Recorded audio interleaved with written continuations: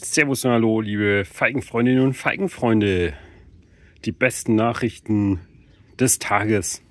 Zumindest sind die Frosttage bei uns gezählt.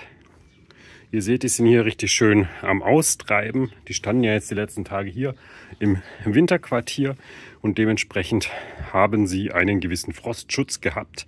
Die standen ja auch schon die Tage draußen. Und hier sehen wir die Feige Yellow Bratislava. Die ist richtig schön am Austreiben habe ich schon einzelne Nachzuchten.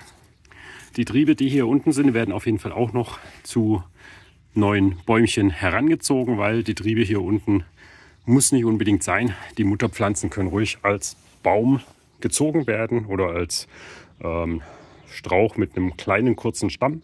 Aber die Triebe von unten sind immer ganz gut geeignet für neue Pflänzchen. Dann haben wir hier eine Pflanze, die habe ich schon sehr, sehr lang.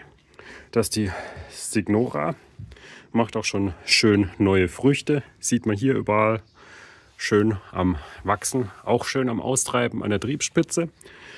Ist einer der größten Feigenbäume mit dem kräftigsten Wuchs.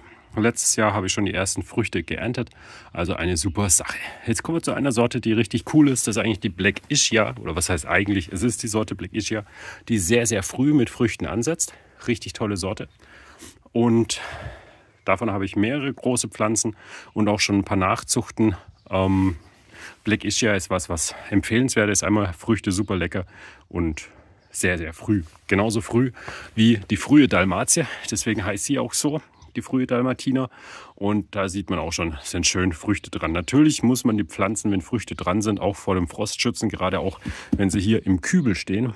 Und hier stehen die anderen Pflanzen im Kübel. Da muss ich jetzt heute noch aktiv sein und rausräumen. Da bin ich noch nicht so weit, dass alles draußen ist. Aber auch was die Verkaufspflanzen betrifft, die sind jetzt auch wieder hier alle draußen unter dem Zelt.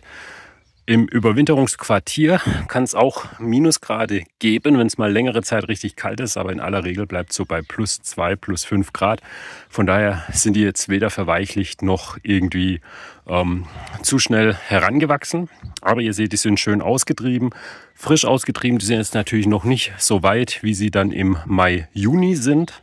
Aber wie ich schon mal in einem Video gezeigt habe, die Black Donoff ist auch eine sehr frühe Sorte. Das heißt, wer jetzt eine Black Donoff will, die so ähnliche Eigenschaft hat wie die Michurinska, soll ja genetisch mit ihr verwandt sein, ähm, hätte jetzt die Gelegenheit, solche Pflanzen mit Fruchtansätzen zu bekommen.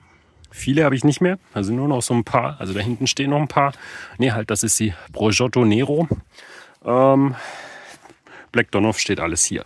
Seht ihr, schöne kleine kräftige Pflänzchen, die teilweise Früchte haben, aber teilweise auch nicht. Also hier machen sie schon Ansätze und alle anderen Pflanzen kommen jetzt hier nach und nach raus, stehen hier regengeschützt unter dem Pflanzenzelt und ja, das so das kleine Update zu den Feigen, wie es ihnen hier geht und hier ist nochmal eine Black Donoff mit einer Frucht. Also ihr seht, es gibt doch noch ein paar Pflanzen. Also die hier machen auch gerade Ansätze.